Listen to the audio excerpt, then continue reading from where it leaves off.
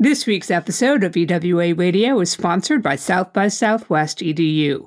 EWA retains full editorial control over the contents of this podcast.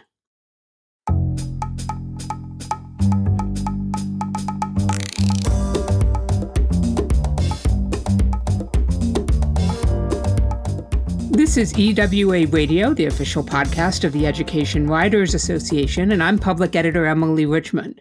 Happy New Year, everyone, and welcome to 2024. We're going to pull out the crystal ball and do some prognosticating. And joining me to help forecast the biggest stories ahead on the beat are two veteran journalists Melissa Taboada, the education editor for the Boston Globe, and Jon Marcus, higher education editor for the Hechinger Report. Melissa, welcome to your EWA radio debut. Thank you so much, and Happy New Year to you. Thank you. And Jon, always a pleasure to have you join us. Thanks very much for having me. So I tossed a coin, and I will have to tell you that K 12 won to go first. But as in the Rose Bowl, I expect higher education to come roaring back in the second half of today's episode. So, Jon, I'm going to ask you to hold tight. No problem. Melissa, we're going to start with you. I'd asked you to come up with a few story ideas for reporters to have in mind for the new year. Why did migrant students top your list? You know, they've been in the news quite a bit for the last couple of years, just the influx of migrants that have been coming to the U.S. But I don't think that we have really done a great job examining their lives and their experiences within schools and education um, from both sides. You know, how districts are grappling with the influx of these students in classrooms, how they're providing translators, what kind of policies they're putting in place around them but also the students' experiences. I, to me, it's just the most telling stories of these children who are coming over. Um, obviously, most aren't coming on their own volition. They're coming with their families, with their parents, and they're going through quite a bit of trauma. And so, just really wanting to examine their experiences and, and how they're learning and how they're coping um, with being in a new country, maybe the first time they're having formalized education, just really important. And honestly, my mom um, was a migrant student herself and coming from Mexico and did not have a great experience coming to the US. So that's always at the top of my mind. Well, it's obviously a really important issue, but I think you did hit on that word, which is kind of the word of 2024 in a lot of ways, and that is trauma, which is this idea that students are coming not just with potential academic deficits, at least when it comes to learning and, and speaking in the English language, but with this with trauma and the shortage of things like school guidance counselors or school psychologists for students who are already struggling and still struggling with the fallout of the pandemic, and now you have these newcomers. Yeah, definitely. Um, you know, there's going to be a need for a lot of supports for them.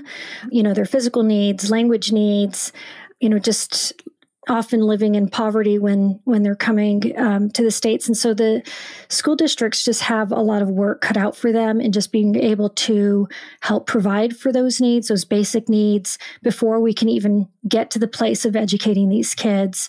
And not just that but just the political rhetoric around it uh, people's strong feelings about migrants in schools whether they should be educated in the US. And I, I, think that they also feel a lot of that. Um, they're carrying a lot of that trauma too, not just from their experiences coming over, but from trauma that they're experiencing here in schools and from the political climate. If a reporter brought this story to you, obviously you as an editor don't need convincing. What tips do you have for a reporter who may want to bring this topic to their editor and the editor may push back and say, hey, you're talking about a very small population of students in the big picture. Why are our readers going to care? I don't think it's as small as we might think it is. I think it's affecting every state and it changes the dynamics of how students are learning in school. Some districts, you know, will have them separate in separate classrooms and then they don't ever integrate them while other districts say, hey, it's going to be English full immersion. You're in all the way. We might provide you some translation services, but you're going to have to just jump in on the deep end. And that affects all kids. It's not just the migrant students who are being affected, it's their classmates, it's the students that they're learning um, alongside. And so I would pitch that to an editor that it's a bigger story than just a, a smaller group of of students, and it has um, ramifications going forward on your enrollment, on the amount of money districts have to spend on the students, and being able to provide these extra support services, in hiring more bilingual teachers, translators, materials, educational materials um, that are made in those languages, in different languages. Your second story that you wanted to discuss is one that we as education journalists, I feel like we talked about it for most of 2023, but it still feels like the alarm bells aren't ringing loudly enough. Talk to us about the Elementary and Secondary School Emergency Relief Fund, better known as ESSER. What are your concerns there? You know, in the words of Jon Snow, winter is coming, and that ESSER cliff is just about here. And we really need to examine we've been saying okay the the funds are running out they're going to be running out. Some school districts have been better than others in preparing for that drying up the funds. But what is going to happen to these kids once money runs out? I mean we know that jobs are at stake.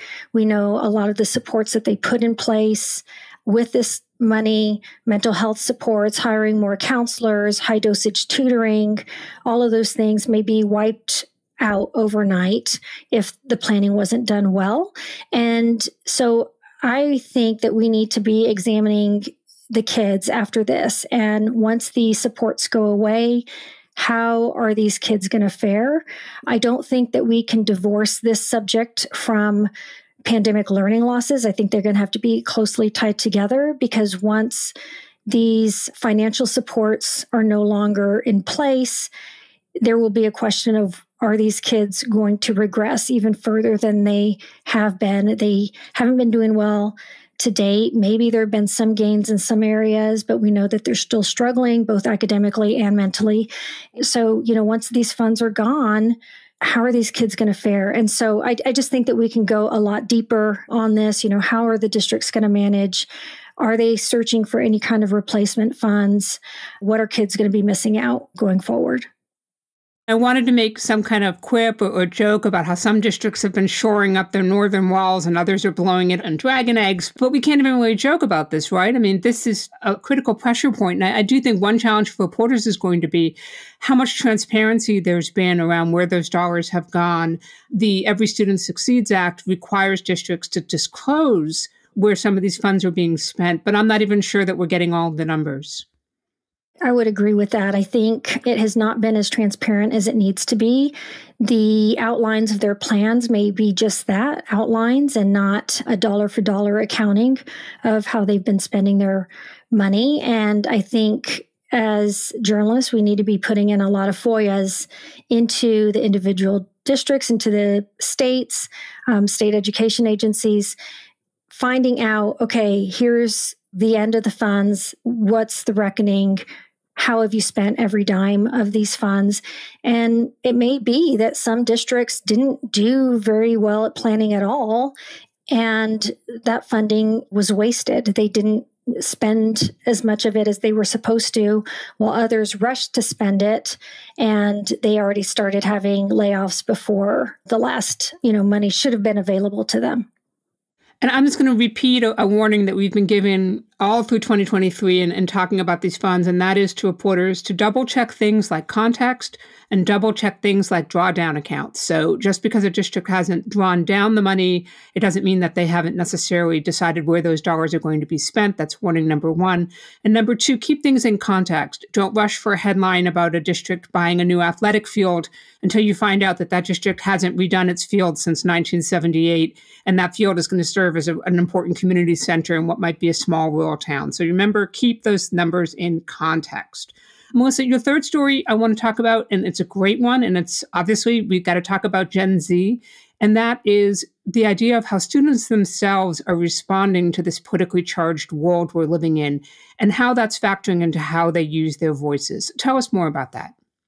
Yeah, you know, just taking a look at continued student activism. We saw, especially in 2018, after the mass school shooting in Parkland, high school students, middle school students started organizing in really big ways. They created organizations like March for Our Lives and Students Demand Action. And all of that was around gun legislation. Um, they've been successful to certain extents in, in helping pass legislation in some states. But just even here recently, in recent weeks, with the Israel Hamas war, we've seen it again, not just on college campuses and, and college students protesting and rallying, but we've seen it at high school campuses and middle school campuses where students are walking out.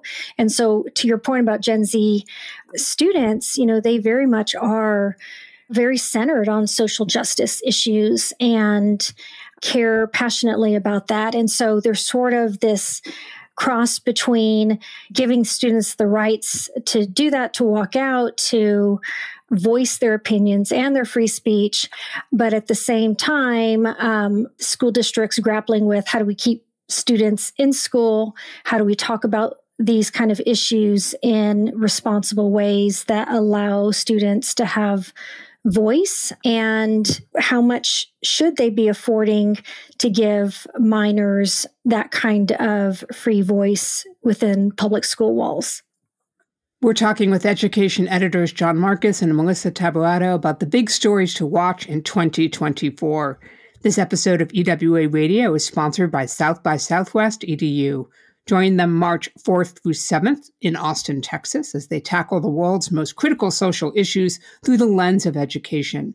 Experience community driven programming, unparalleled networking opportunities, and unexpected discoveries. Visit South by Southwest EDU to discover hundreds of sessions and events already revealed featuring inspiring thought leaders in education. Register today. Jon, let's continue with you on some higher education questions. You know, when I asked you to prepare some story ideas, you let me know that pairing back your list was going to be tough, and I appreciate your efforts to triage. So let's get into it. What's number one on your list? Yeah, this was a tough assignment, uh, limiting this list to three.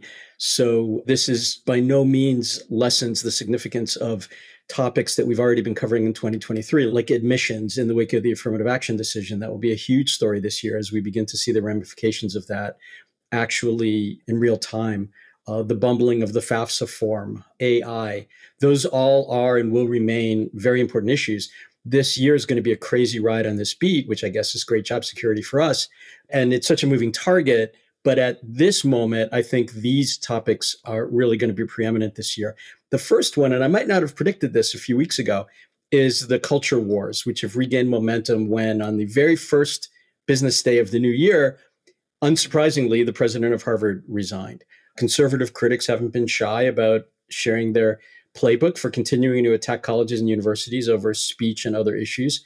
I think we're going to be seeing a lot more of that. I think our coverage would do well to kind of focus on the kind of mind boggling tone deafness that has been displayed by these most elite universities, the smartest people in the world, who just have walked right into this and won't defend themselves. And uh, higher education journalism colleagues, in the wake of the resignation of Claudine Gay at Harvard, reached out to other college and university presidents, universally wouldn't talk universally don't want to address this. They don't want to be the next lightning rod. They don't know what to do. And that's going to be a fascinating topic to watch this year. When I think about it, and I think about in terms of, you know, like a GIF on social media, I see that armadillo just flipping on his back and tucking up his shell into this tight little ball. And I think it's going to be a really scary time to be a college president. Absolutely. And the presidential election also, once again, is going to amplify these culture wars. Interestingly, at the state level, where a lot of the really damaging stuff is happening anyway and has been for a while, I think that this is an election year, but there's likely to be very little change in control of states. There are very few genuinely contested gubernatorial races, and it's unlikely that many legislatures will change from one party to another. So we can expect to continue to see legislative action affecting largely public universities around DEI, critical race theory, other curricular issues. It isn't going away. Similar to Melissa's warnings about the ESSER funding, there's another kind of cliff looming for higher education, and it's one that's been nearly two decades in the making. Why don't you tell us about that? Yes, winter is coming also to higher education, and that is the enrollment picture.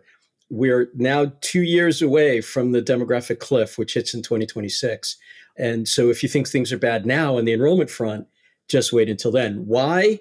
is 2026 the year? Because people stop having children during recessions. And the last recession was in 2008. So you add 18 years to that. And by 2026, we start running out of 18 year olds. That's always been predictable, which doesn't mean that higher education ever plans for it. They don't seem to plan for anything.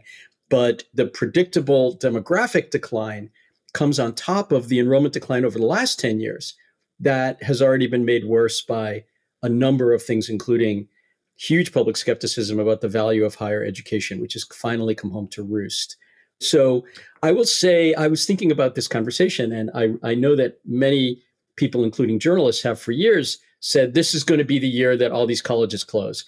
And to be honest, we were usually wrong. Colleges somehow continue to survive. Last year, 2023, we were right. On average, the equivalent of a college closed every month in 2023. That's staggering and that's only going to speed up. Uh, and this time, I'm pretty confident of that prediction. There are a lot of stories under this umbrella, including the drop off of rural enrollment. A disproportionate number of colleges that have closed have been in rural America, where there's already very low college going, very high high school graduation rates, very low college going. And another story here that kind of connects to the culture wars and your armadillo metaphor is why has the higher education industry done almost nothing to counter the public perception that there's no longer a return on investment. They do have a story to tell, but they can't seem to get their act together to tell it. And if you look at other industries that have been threatened, like them or not, fossil fuel industry, the tobacco industry, they managed to collectively try to change the message. Higher education hasn't done that. That's kind of staggering. So when you think about what's coming in two years, depending on what source you use, there'll be another drop after 2026 of between 11 to 15% decline in the number of students. That's on top of a 13% decline in the last 10 years. There are 2.6 million fewer college students. That's crazy. And any hope of a rebound is fading because not only do people not have children during recessions, apparently they don't have them during pandemics either. I wrote a story about this, which gave me the rare opportunity as an education writer to statistically uh, report how often or not people were having sex doesn't come up very often in, on the education beat. What a shame. Um, the, I know the number of births actually continued to decline during the pandemic because people weren't having sex, uh, which is kind of surprising because there wasn't anything else to do. But anyway, um, they were down by another 142,000 births to the lowest point since 1979. So that means that any hope of a rebound from this demographic decline which colleges always sort of cling to hope beyond reason, there's no hope that this is going to reverse, not for a long time. Your next story is a big one. It overlaps what we've just been discussing, and it's tied to that familiar question why college? Is college worth the investment? Who should go to college? Why are you expecting this debate to take on some fresh oxygen in 2024? Yeah, I think, well, it's not as much that it's going to take on fresh oxygen, but I think we should feed oxygen to it as people who cover this topic. This is a really important question that we need to raise as higher education journalists. And that is, what is the impact of people not going to college? And I want to stop and say very clearly, because everyone gets in trouble whenever they're assumed to be suggesting that everyone needs to go to college, that not everyone needs to go to college, but someone needs to go to college.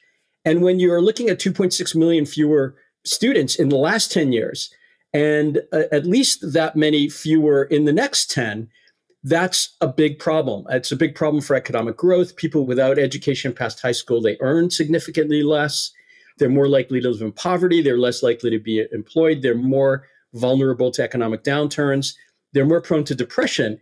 They live from five to 12 years less than people who have college degrees. Life expectancy has increased for people that went to college, but it's declined for those who didn't.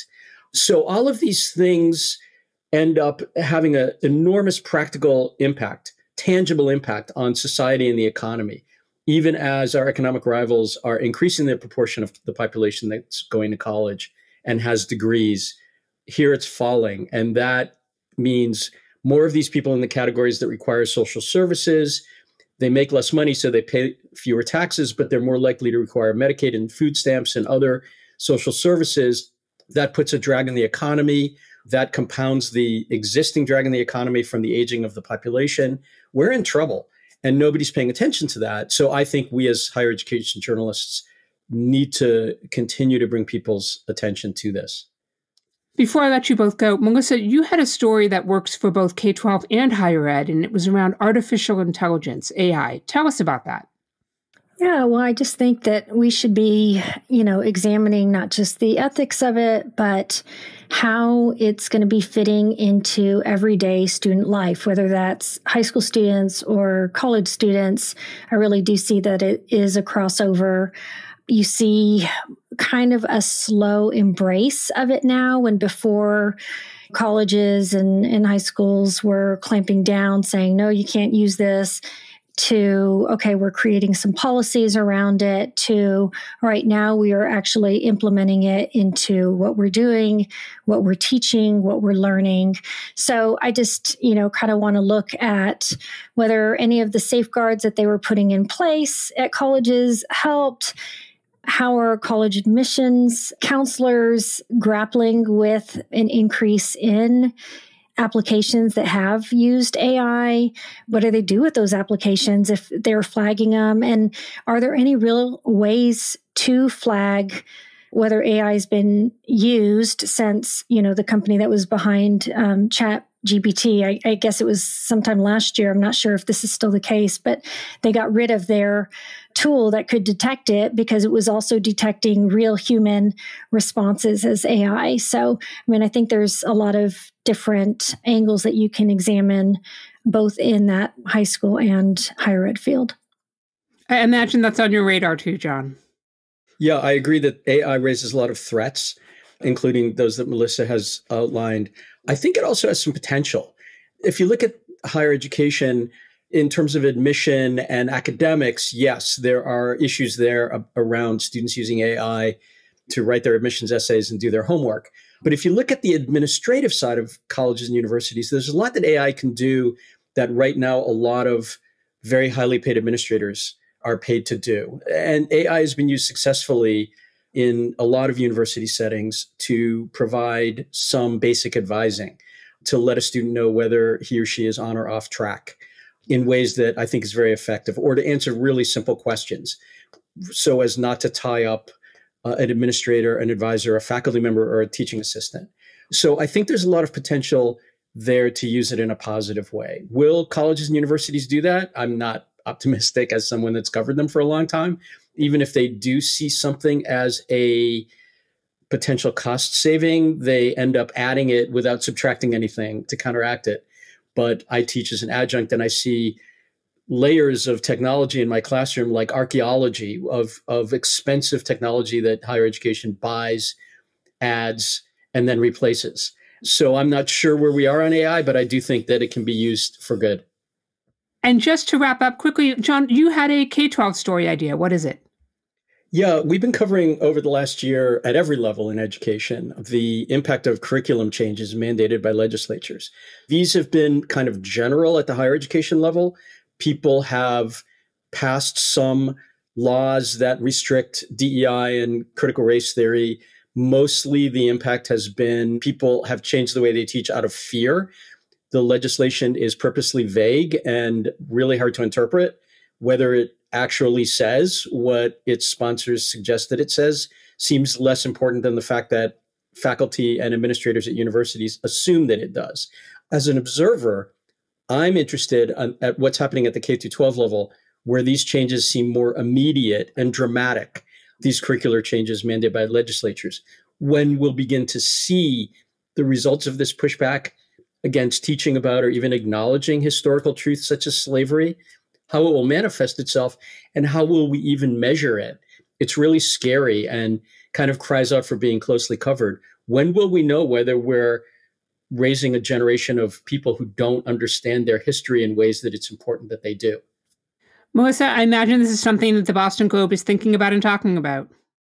Yeah, it is. And it is a terrifying question. Um, just even with the AP changes, we have already started covering the pilot AP class and what changes have been made there and what teachers are doing on the ground, supplemental books that they may be providing to their students, other things that they can be teaching in their curriculum so that students aren't completely in the dark. But there may be other states where the laws are much stricter and things get pulled completely. And, you know, I just would hope that students could also do some learning on their own, that parents would come in and help provide their kids with supplemental materials. But being that there's also issues at libraries with book bans, it is a scary scenario to be in. Um, some education advocates are really pushing for changes to literacy curriculum, for example, and um, that could, you know, result in some good things. But yeah, those changes, I think we're going to just be seeing immediately, you know, within this next year or two. We've had a lot of talk about terrifying, scary cliffs, Game of Thrones season eight. Just to end on an up note, if we can, Jon, what's something you're looking forward to in 2024? That's the hardest question of the day. Um, I am looking forward to continuing the what I've seen of the the deserved scrutiny that higher education has been getting after a long period of not really being covered. I mean, I'm talking like in the 1990s and early 2000s, not really being covered with the kind of scrutiny that other institutions got. I think we're at a stage now where higher education and its value proposition are being covered in ways that less assume that higher education is on some kind of moral high ground and understand it to be a human institution just like any other human institution, if not in some cases, frankly, worse. Melissa, how about you? Something you're looking forward to in 2024? Um, a vacation. um, no, I mean, I am really excited. This year is the 50th anniversary of the big Garrity decision, which prompted desegregation in Boston schools. And so I am looking forward to delving into that and examining how it affected the lives of kids then and now. Melissa Taboada is the editor of the Globe's award winning Great Divide team, which investigates educational inequities in Boston and throughout the state. Prior to joining the Globe in 2021, she spent more than 20 years as a reporter and editor at the Austin American Statesman. Melissa, thank you for making time for EWA Radio. Oh, thanks for the invite. Emily, before you do the outro, I, I just wanted to say that I realized in hindsight, you asked me what I'm looking forward to and it's scrutinizing higher education. That that says a lot about me, I think, in ways that I'm not entirely proud of. That's fine, Jon. Don't worry. I thought you were going to say a couple of good long runs or bike rides, but you know, you you you do you, Jon. Jon Marcus is an education editor and also co-host of the new podcast with GBH Boston and the Hechinger Report, College Uncovered. It pulls back the ivy on American higher education and explores how college really works. Jon, always glad to have you here. Thanks so much for having me. Before we close out this week's episode, we want to take one more look ahead into 2024 to March in Austin, Texas, to be exact. To do that, I want to dial up Casey Fabris, a program manager for EWA and our resident expert on all things South by Southwest EDU.